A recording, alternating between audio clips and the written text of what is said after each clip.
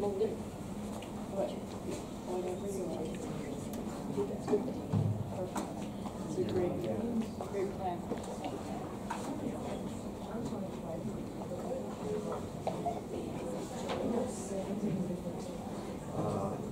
I guess it's time to start now.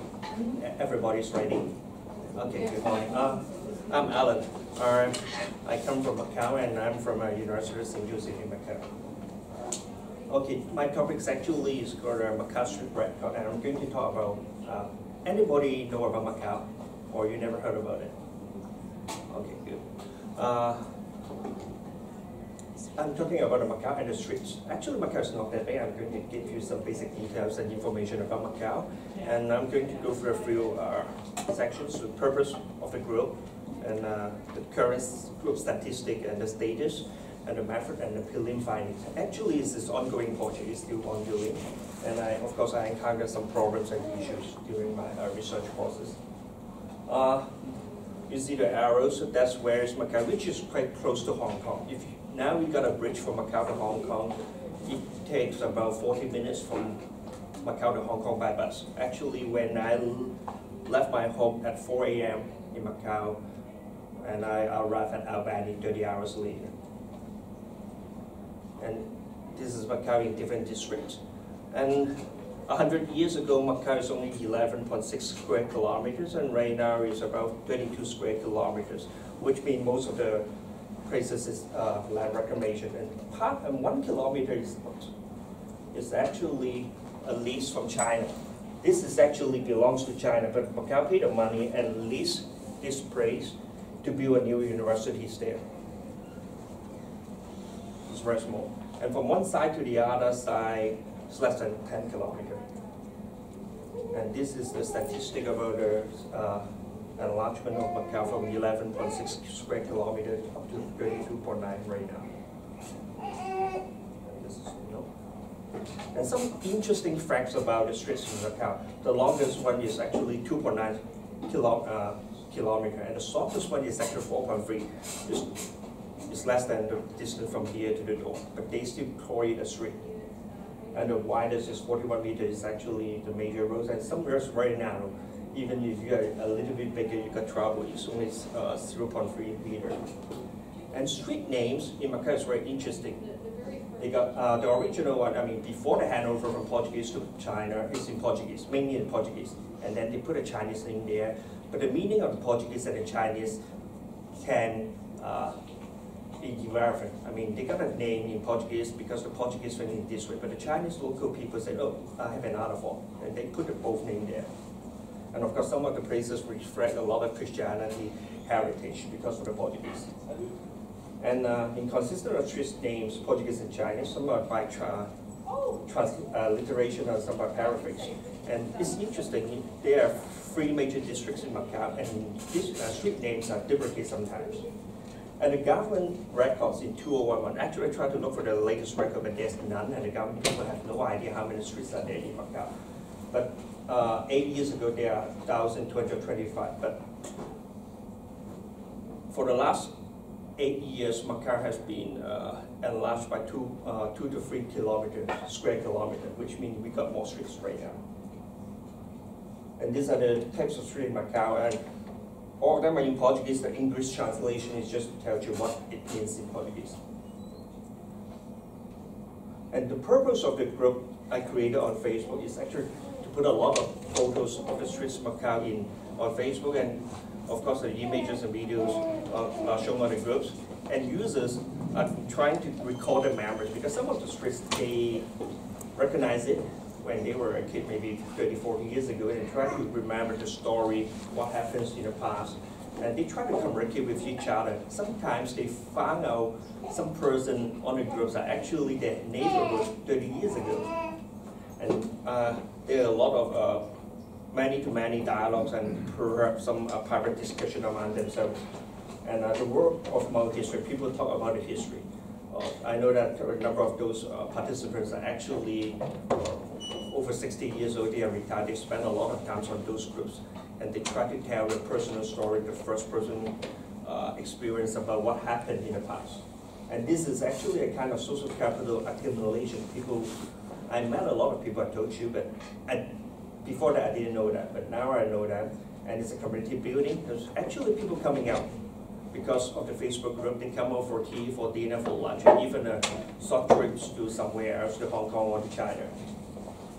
And there's a lot of affiliation and fact-finding between the members as well. And this is the group uh, interface. If you have a phone, you can scan the uh, QR code and you can access to the group. And, and I, uh, right now we've got 948 albums, and each album actually contains pictures about a specific street in Macau. And these are some of the basic statistics. Uh, the group is not that big. Right now I got uh, 1,107 members. All of those members, 831 of them are actually quite active. And these are the statistics about the popular days. I don't know why Monday is the most popular, but I don't know. And uh, afternoon, of course, before dinner is the most popular hours for the people to talk about things on the Facebook group. And men, 70%, near 70%. Women is only around 30%. And most of the people, of course, are from Macau. And if you see the second, the second largest group is actually from Hong Kong. And uh, it's quite interesting. Hong Kong and Macau, both of them were colonies. And quite a lot of those people actually got the resident status of both Hong Kong and Macau. I'm one of those. And maybe about 50,000 people or 10% of the people in Macau are actually Hong Kong residents as well. And vice versa, uh, there are around 150,000 Hong Kong people who are also Macau residents living in Hong Kong. And these are the top countries, Macau, Hong Kong, China, and the others are not that significant. And the methods are building Friday. In this research, Macau related photos, images, and video are shown to Facebook group. Users are free to react to those photos and try to record a memory, personal story, communicate with one-to-one dialogue, participate in uh, many, many, many-to-many dialogues, and have some private description as well. And there are different degrees of. I, I try to distinguish the post. The, uh, I call it first degree post is the person who posts the photos on the group. And after that, another person can share the post to somewhere else or their own uh, personal timeline. That's the second degree. And a third person can share the second person to another place as well. I call it third degree. And of course, it can uh, keep on going without any, uh, without any limitation. And makes uh, it difficult to try to collect all the data from the post. Before that, actually, it's quite easy. You can get some application, online applications to collect all the data. But somehow, since last year, uh, Facebook has some new policy on the privacy issue. We need the user, every individual user to allow the applications to collect the data. That's mean right now, the only way I can collect the data is manually to look at each post and comments. But before that, I can use some tools to do that. Uh, uh, that's what I've said before. Technically, it is possible to collect all the data and comment, but the privacy issue uh, did not allow us to do so right now. And of course, most of the comments are just uh, uh, you click the like button, or of course, they, some people like to click the love, haha, wow, sad and angry. And of course, a lot of people do other options as well. And some people, quite a lot of them actually, if they have an affiliation with a certain street, they will try to find a photo of them, uh, themselves or something which is related to that street. And they will post a comment about that street. Okay, maybe perhaps uh, the photos of the same street 50 years ago, or a personal photo which showed that uh, the photo was taken, uh, taken on the same street, or some sort of meanings to them as well. And some image posts including the same place from an area, time, food item available on the street. Actually, Macau is very small. And if you walk down the street, you can find a lot of uh, restaurant, uh, street food or whatever. And some people like to post some funny image if they love it, they to try to find an animated GIF and put it on a, uh, as a comment. And uh, some other, if they are very uh, interesting or they have a very strong affiliation with certain places, they will try to look for further information to let other people to know about what happened on that particular street. But some people even went further. they write a short essay, maybe a hundred words, and talk about their personal history or a poem or story about what happened. And through the post and response action, social capital are actually building up and personal benefits can be found. The recall of memory from youth, self-expression, happiness acquired, affiliation with others, recognitions from others, connection with others, expansion of own social network through the post and response action process of social capital for the users. And uh, I try to give you uh, some example. Actually, this is quite uh, old building somewhere. It's still, it's still standing there, that building. And some people may walk past by the building uh, quite often and they have no idea. And you can see two comments that people actually are trying to talk about what kind of building is it in these. The first one is asking, the is of give her own personal uh, comment. And this one is actually a response with a picture. The first one was actually taken by me. And the second one is some people find a picture of the same place before the construction of a tunnel and they pose it as a response. And uh, this is a typical street sign on uh, Loki Macau. And people will talk about it. Actually, this street is right in front of a uh, uh, supermarket called Park and Shop. And people reply, okay, thank you. And the last one is, oh, beautiful view.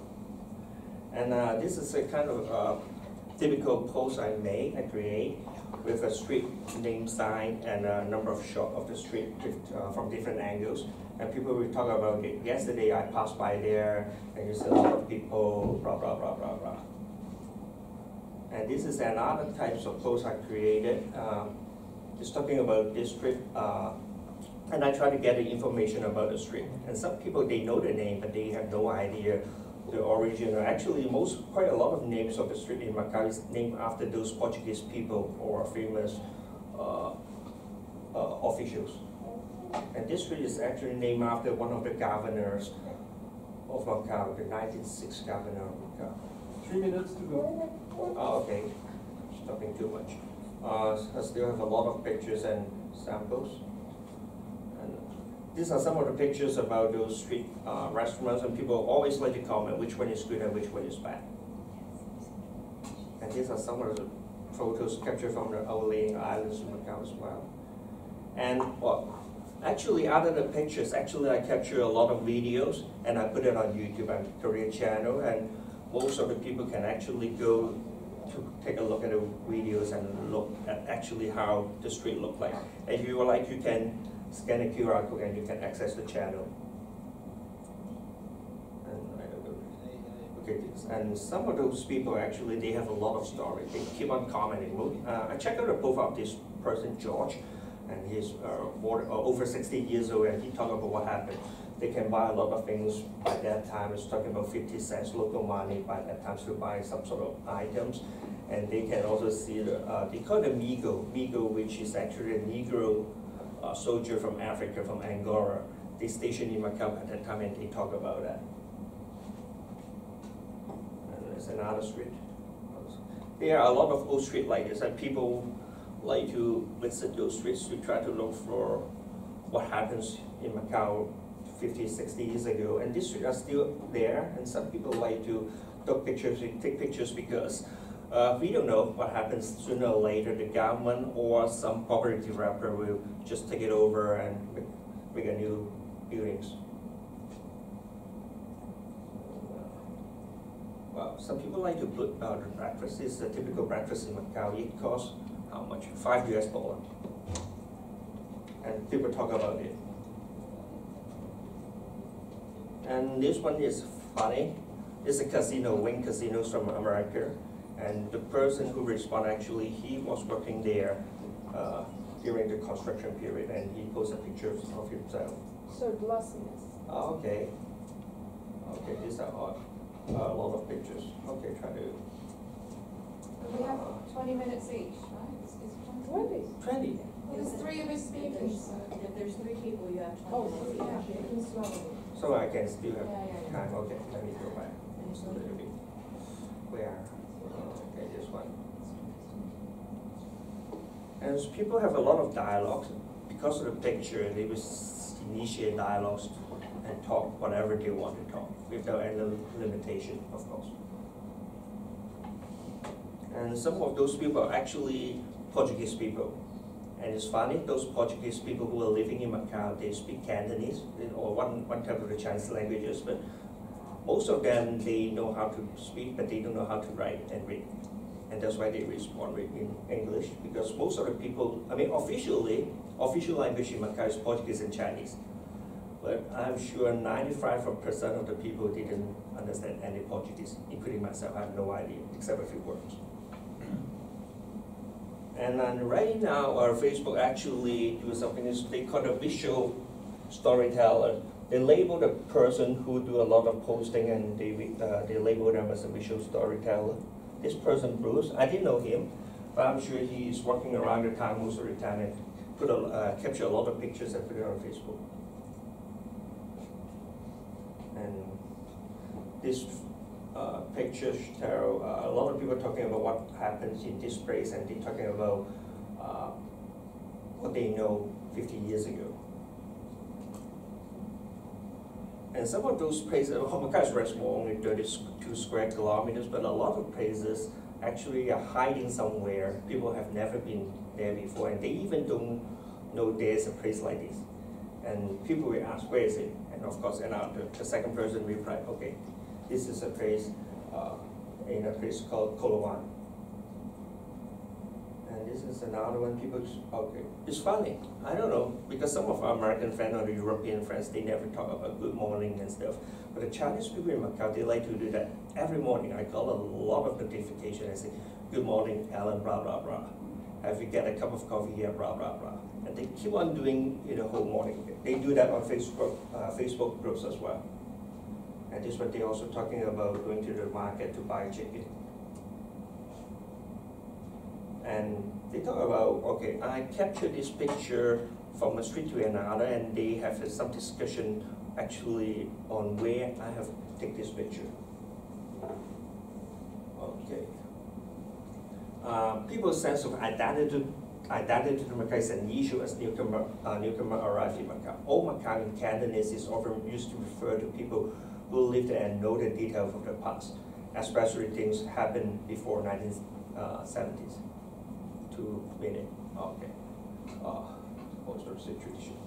And most of the situation occurrence may not be easily replicated in the physical world with answers. For instance, even such a small city state like Macau, and roughly 30 square kilometer, a person may not have visited a certain location in the past few decades.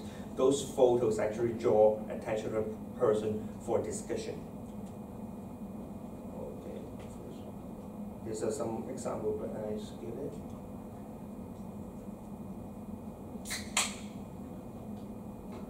And this is a summary of all those comments. I try to categorize them actually just like scattered memories, memorize subjects, especially some people know a lot of things about a certain street or a certain uh, shop.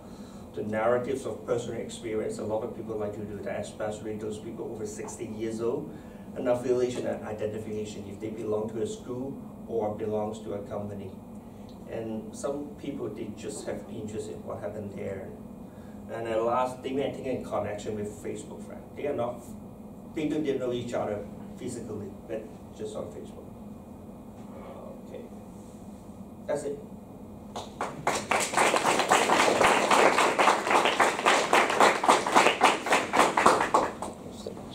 we doing questions after? I, I guess after the after presentation.